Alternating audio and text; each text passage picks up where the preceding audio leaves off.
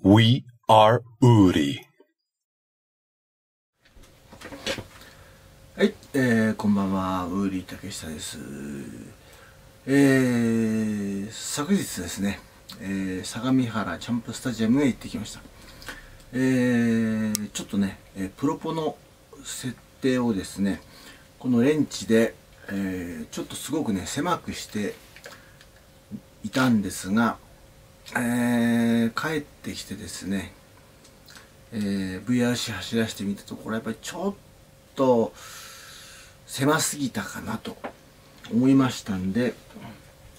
昔使っていた EX10 を EX10 EX10 を持ち出して、えーちょっと触ってみました。で近い感じになるように、えーこの、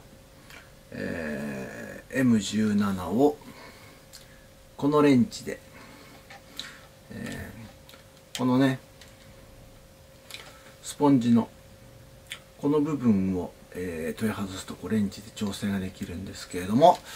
これで調整してみました、えータイムアップしました、えーで、えーこれがねやっぱり結局のところ、あのーラジコンは、まあ、プロボで、えー操縦するものなのでやっぱプロポのセットアップというのはね一番重要です。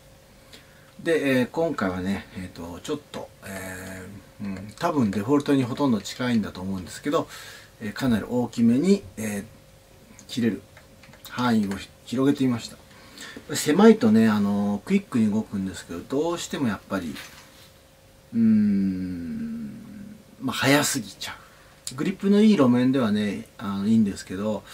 ぱりちょっと昨日相模原かなりグリップ悪かったんでえーちょっと途中がねこう切った途中のところがやっぱり欲しかったので、えーちょっとね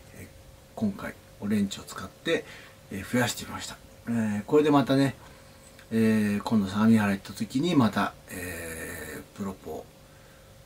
も含めて、えっと、セットアップし直してみたいと思います。VRC ではねやっぱり、えーちょっと大きめに